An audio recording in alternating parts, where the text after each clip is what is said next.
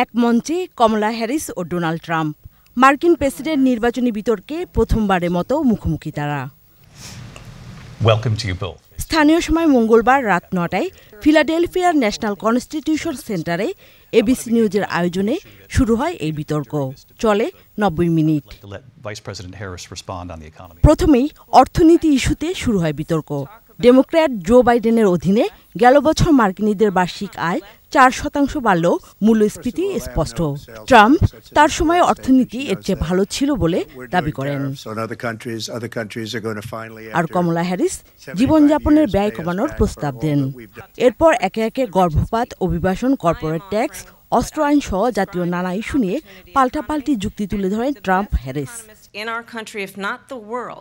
আর বিতর্কে ইউক্রেন ও গাজা যুদ্ধ সহ আন্তর্জাতিক বিষয় নিয়েও কথা বলেন হ্যারিস ও ট্রাম্প।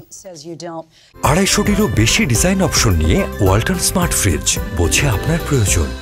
বিতর্কের আগে বিভিন্ন সংবাদ মাধ্যমে জরিপে দেখা যায় জনপ্রিয়তায় হ্যারিস ও ট্রাম্প সমানে সমানে। বিশ্লেষকরা বলছেন, দোদুল্যমান অঙ্গরাজ্যগুলো নির্বাচনের ফলাফলেই নির্ধারিত হবে আগামী পাঁচ নভেম্বর ট্রাম্প হ্যারিসের ভাগ্য। আর এই বিতর্কে সাফল্যের উপর নির্ভর করবে কোন প্রার্থী এসব অঙ্গরাজ্যে ভোট বেশি টানতে পারছেন। Duli Mallick desk report, Ekushey television.